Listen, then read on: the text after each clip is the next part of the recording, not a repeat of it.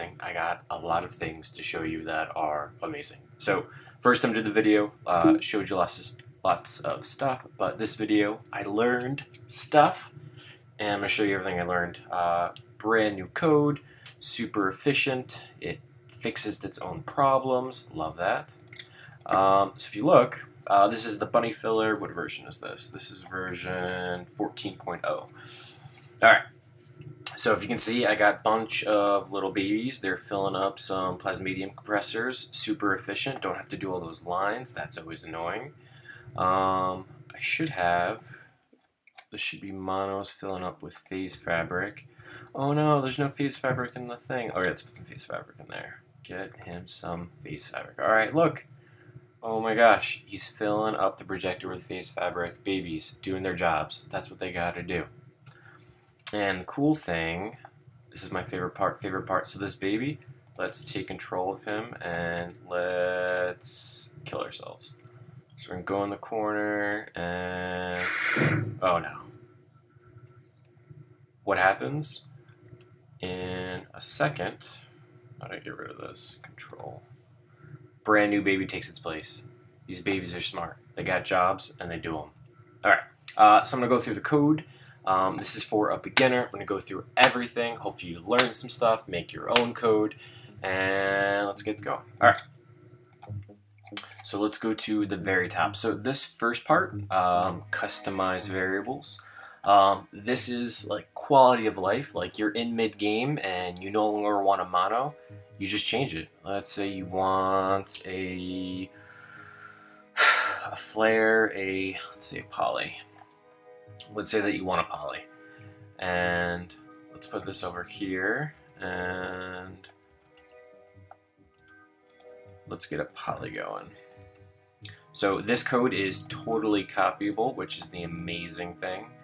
You just copy the code and once you power it up and once there is a poly, it'll start working. So if you want to change something on the fly, it works. Um, these little print things, they don't do anything. They're just kind of like notes for you, for me, whoever needs them. So uh, wherever you see the word who in the code, it's going to refer to this string, which is we want a poly. Um, set below unit capacity, polys have, I think they have 30. Pretty sure they have 30. Let's double check. Polys are, yep, definitely 30. Um, you can't set this more than the unit is able to hold. If you do, he's just going to set it the core forever, trying to get items he can't fill himself with. And then set below string desired material, easy. He's going to fill the phase back. Let's see if he did his job yet. No, still loading. Actually, in Sandbox, it pauses when you go into edit mode. Totally fine. Anyway, uh, keep going, keep going. So get link. Um, get link, basically, when you link a uh, logic to a block like this, um, the first one that you link it to is going to be link 0. So wherever we see the word where, it's going to refer to whatever block um, has been first linked to that processor. Super awesome. And then this one, um, I don't like wasting silicone or material or time on building switches. Switches are awesome for certain things, but for this we don't need them. So the switch is power, basically. Where are we now? Yep, we're right here. So the switch is basically power. Once the block is powered on, it's going to sense that, and then it's going to start doing the code. Until it gets power, it's not going to do anything, it's going to sit there. Um, and that's what all this code is about. But the cool thing is, let's say that you're trying to fill up a container, something that doesn't need or can take power, you just switch this little power thing from greater than to always. So, not a big deal.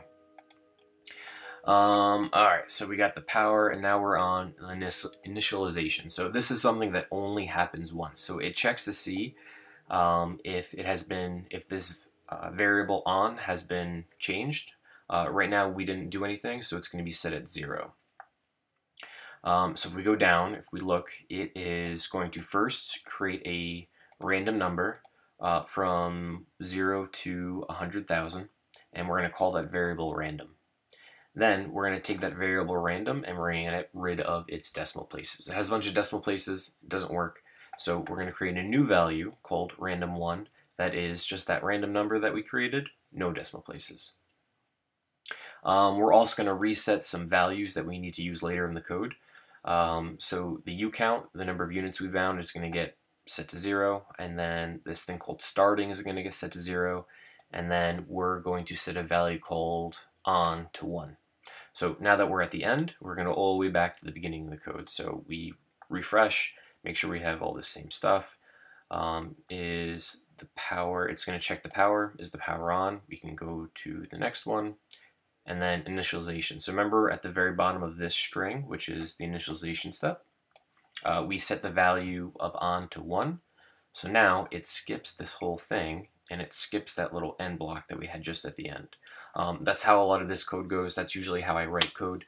Um, I don't like having jumps that go back into the code itself. Um, you get problems where it errors out, where it keeps looping in itself if you didn't write it correctly. Um, when you jump over an end block, it everything just works better, uh, in my opinion. All right, so now we're on the important stuff. This is the flag unit process. Um, my flag process, a little more complicated, but it works better for me. All right, so we're going to check a value called uCount. Um, is it greater than zero? No, we've never done this before. We never set that value. Uh, we're going to bind a unit. Who we're going to bind? We're going to bind um, that uh, thing at the beginning, the set. And because it's being set to poly, this is going to bind a poly. Beautiful. And let's see. Uh, bind unit. All right. So when it binds a unit, let's say that you started the game and that you don't have polys out yet. Um, if there's no polys available on the map that is your own, it's going to return a value of null. And if it's null, it's going to go end. It's going to start the code all over again from the beginning, which is useful because you don't want it to be bound to nothing and then continue the code. Doesn't work. So if the unit exists on the board, it's going to go to the next part, which is check to see if it's controlled. Um, controlled, I'm pretty sure, is for if it's in formation and if another logic uh, block is controlling it. We don't want to take um, units from other people, from other um, logic processor whatevers. So it checks to see if that's there. So if it's not being controlled, then we can jump to the next check. So the next check is holding.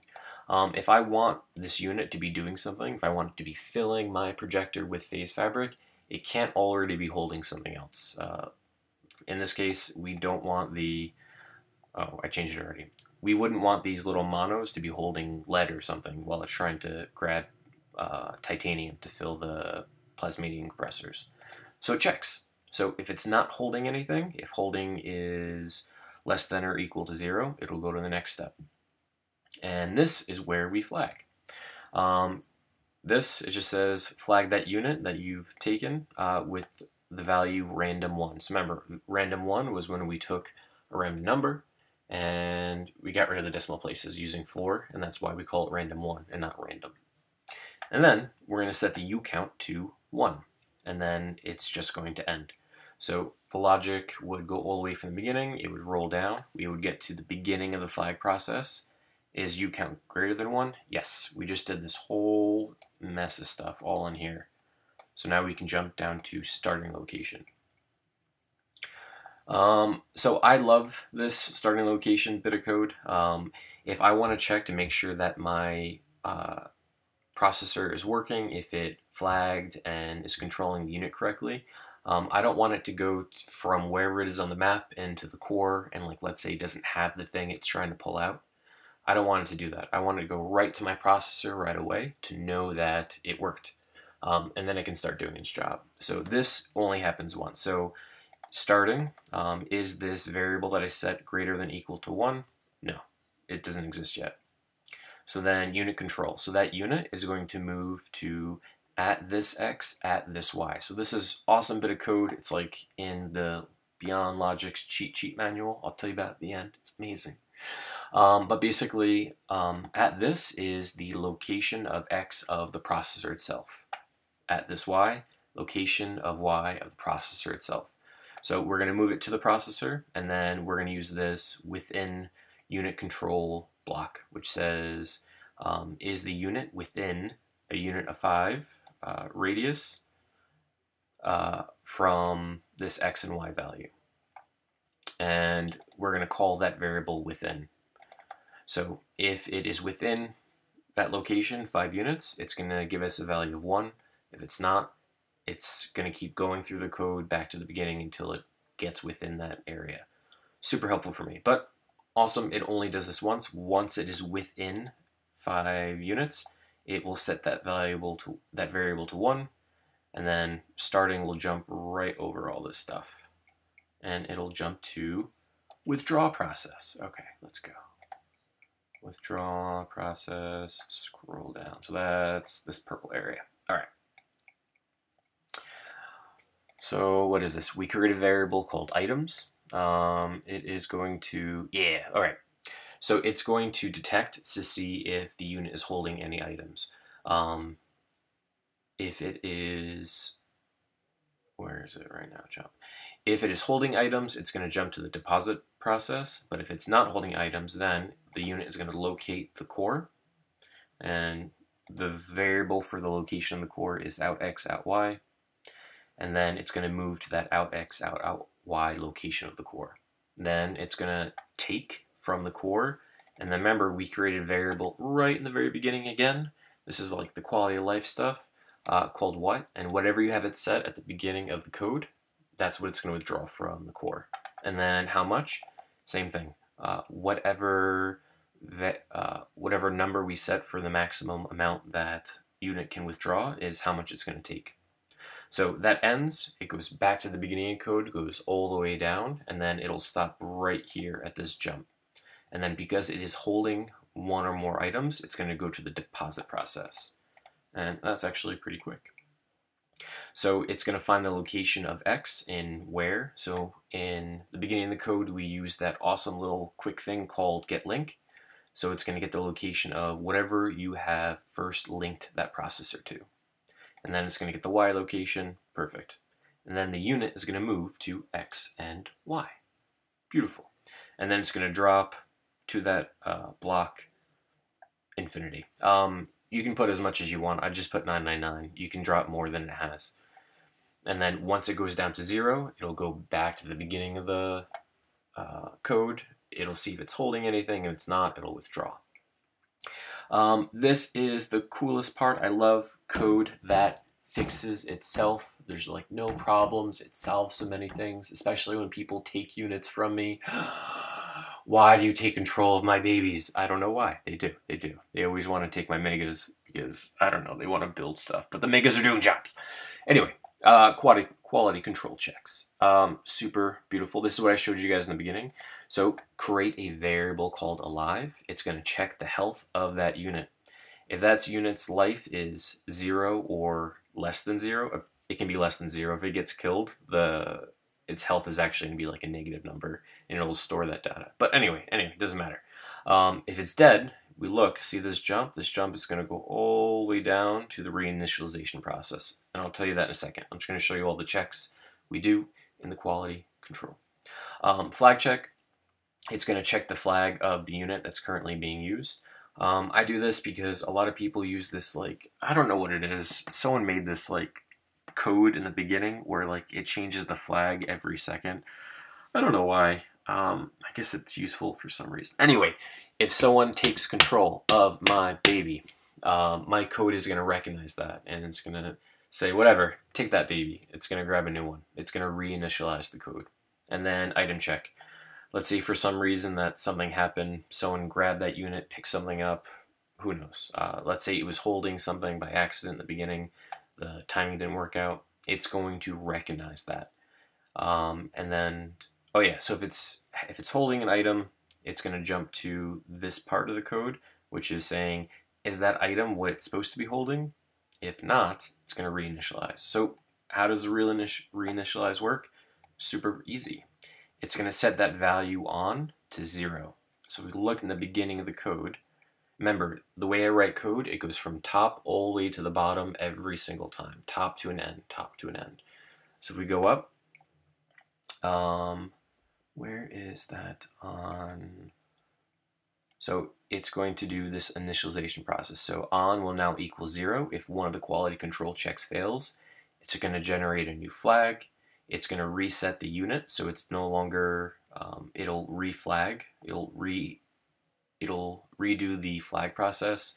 and then it will reset the starting process, the part of the code where it asks it to go to the processor.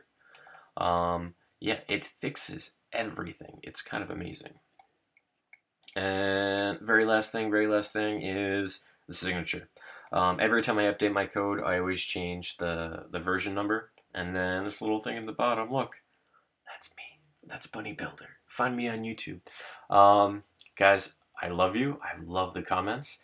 If you use my code, you gotta put a little signature at the end. You gotta put something like, I love Bunny Builder. Something. I like Bunny Builder. You don't have to love me. You should like me. I don't care put something like at that at the end, it would make me so so happy. Uh, especially if I see you on Attner. If I see I love Bunny Builder on someone's code in Attner, just makes my day. Make my day, guys. Make my day. Um, that's it. Wow, 67 lines. I did that very very quickly. Um, there's three other things I want to show you. It's the same things that I showed you in the other video. And that is the first one, all about units. So these are the different units that, there's more units that can hold items, but these are the main ones.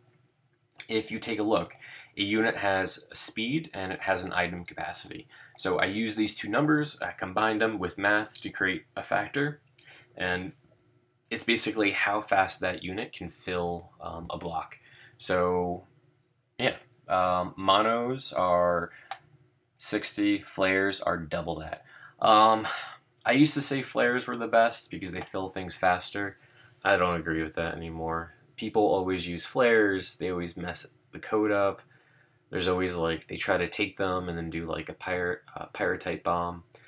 I used to really love flares, I'm not into it. I always use monos because no one uses monos, so it just makes it so I don't have to worry about anything. Um, the next one up would probably be polys. Polys are definitely better than horizons. Fill factor 75. And then the one that I used to fill, I'll show you really quick. Ah, undo, undo. How do I undo? There you go. All right. Uh, the code. Uh, when I create something like I want to create a quad, and like this thing needs like a thousand uh, silicone between all the different uh, reconstructors, I always use megas. Megas are the best bang for your buck. Um, but they cost more. They cost more. There's also like, what do I have? Maths. We have a, what is it? Cost and fill factor. I don't know. It, yeah, it depends on how many processes you want to make. Or you get really crazy with the code and tell it to check for different things. Anyway, anyway, anyway. Uh, the other thing I wanted to show you was something, something. Oh, yeah, so I'm going to link to this in the video again. Um, this thing is amazing. I don't know who Beyond is. I don't know how he wrote this, but it is amazing. It goes through every single bit and type of code for Mindustry. So anything in there you want to know how to do, it's all in here. It's amazing. Um, there's nothing else like this on the internet that I can find. And the other thing is this crazy guy. Um, he goes through basically every command um, so like all the math commands, he goes through every one and he like shows you how it works. Uh, pretty crazy. He's recording like a very old screen, but it works. I watched this video to learn how to do a bunch of stuff. Um, that is basically it. Um, if you're using this code, super, super, super easy to change things around in-game. Um, if you like this, let me know. If you have questions, let me know. I hope you like this revision video. Um, yeah, that's it.